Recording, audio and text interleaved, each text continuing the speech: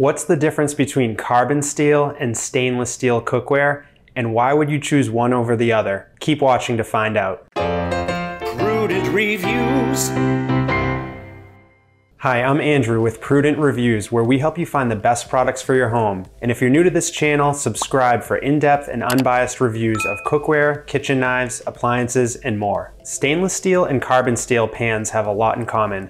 They're both durable, versatile, and ideal for searing and browning meats. They're workhorse pans that can last a lifetime, but there are some major differences between the two. In this video, I break down those differences and give you an up-close look at how they perform side by side. Let's get started. Carbon steel is an alloy made up of 99% iron and 1% carbon. Most manufacturers make their carbon steel pans the same way. They start with a flat sheet of carbon steel that's been heat treated to resist corrosion. They cut that sheet into a circle and a machine punches it into the shape of the pan. Finally, they attach the handle to the base with two rivets. On the flip side, stainless steel cookware can be constructed in a variety of ways with many different materials, and the process is a bit more complicated. Because stainless steel doesn't heat well on its own, most brands create their pans by bonding exterior layers of steel with a heat conductive core layer such as copper or aluminum. This process of bonding different metals together is often referred to as cladding, and the resulting cookware is marketed as multi-clad or fully clad. Some brands layer the conductive materials throughout the cookware, while others bond it only to the base. When aluminum or copper is bonded only to the base, the sides of the cookware won't heat as evenly. The point here is that most carbon steel pans are made of just carbon steel, so the performance is similar across brands. The materials and construction of stainless steel pans can vary significantly across brands, therefore, the performance varies too. When you first buy a carbon steel pan, it has a smooth gray or blue exterior. But over time, the appearance changes, and it can get a bit blotchy and ugly. Although, the more you use carbon steel, the darker and more uniform the appearance will become. On the other hand, stainless steel pans come out of the box with a gorgeous polished exterior, and they can maintain their original beauty for years after purchase. The notable difference between carbon steel and stainless steel pans is the level of chromium in the steel. Chromium protects the steel from rust and corrosion caused by exposure to moisture and acidic foods. Most stainless steel cookware is made of steel that contains 18% chromium. Carbon steel doesn't contain enough chromium to be corrosion resistant, therefore it's prone to become rusty and discolored, especially when the protective layer of seasoning on the cooking surface is wearing thin. Although carbon steel doesn't maintain its original beauty, you can minimize rust and discoloration by keeping the pan seasoned and drying it thoroughly after cleaning. Stainless steel pans, especially ones with fully clad construction, distribute heat more evenly than carbon steel pans. As I mentioned previously, stainless steel is not a conductive material on its own, but since stainless steel pans are made with highly conductive aluminum or copper at the core, they heat up fast and evenly. Carbon steel heats up quicker and more evenly than cast iron because of its thinner design, but carbon steel has a lower thermal conductivity than aluminum and copper. So between these two materials, stainless steel pans will typically transfer heat better. That said, after a minute or two of preheating, both carbon steel and stainless steel pans distribute heat evenly, and it's rare to experience any hot or cold spots with either.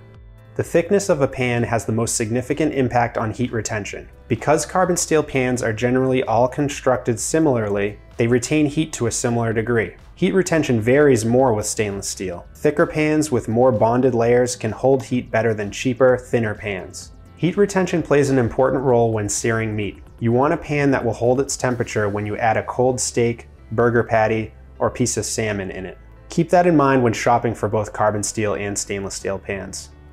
One of the advantages that carbon steel has over stainless steel is its heat tolerance. It's one of the reasons why carbon steel is a staple in professional kitchens. You can leave it on hot burners for extended periods without any issues, and you can even use it on the grill or over a campfire.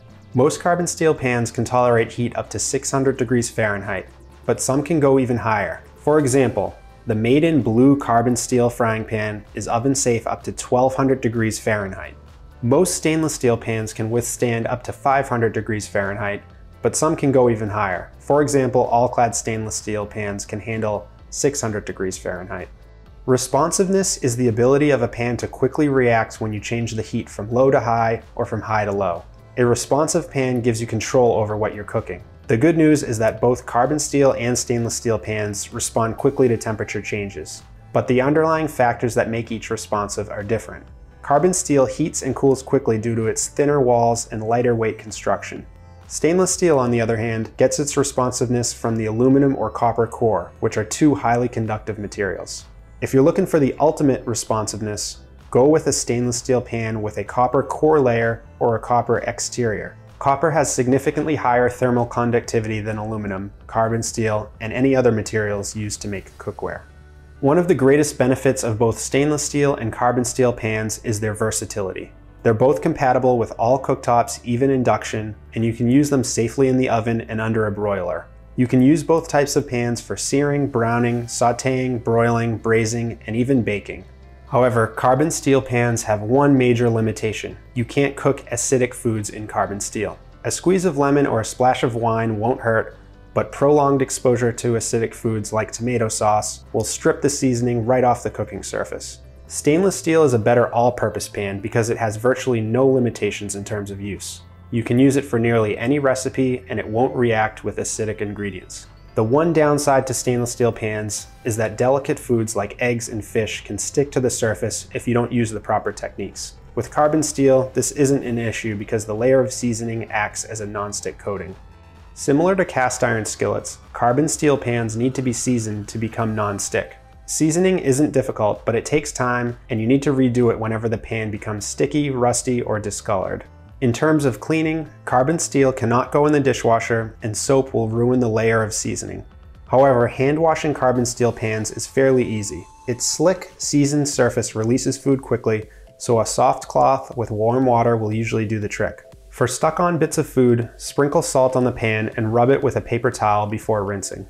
Stainless steel pans don't require seasoning, you can wash them with soap, and most are dishwasher safe, although I don't recommend that. However, stainless steel pans can actually be harder to clean because the surface isn't as slick as carbon steel. Stainless steel is widely available, and you can find it in a range of cookware types. You'll find stainless steel frying pans, saucepans, saute pans, stock pots, and much more. No matter which brand you choose, they'll likely have a stainless steel collection. Carbon steel cookware is much less prevalent, and it's generally limited to frying pans, skillets, and woks.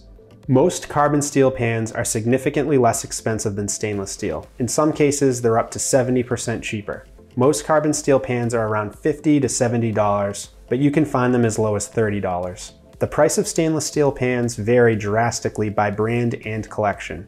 There are stainless steel pans that cost over $200 and others that cost $25. The cost depends on the materials, the number of layers, the thickness, the quality of the finish, and where it's made. But overall, the average 12-inch carbon steel pan is less expensive than the average 12-inch stainless steel pan.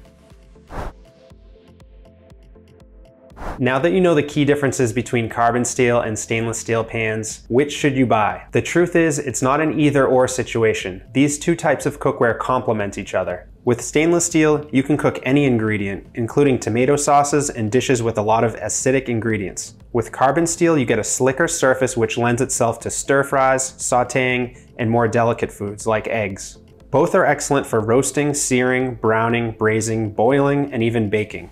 If you're only planning to buy one piece of cookware and need it for all types of meals, go with stainless steel. It requires less maintenance and you can cook anything in it.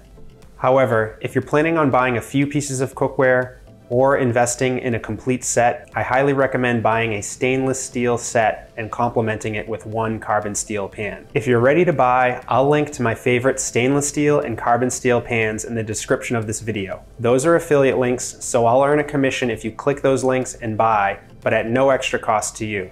If you found this video helpful, check out this video where I highlight the best cookware brands that are not made in China. And don't forget to click on this logo to subscribe to the channel. Thanks for watching. We'll see you in the next video.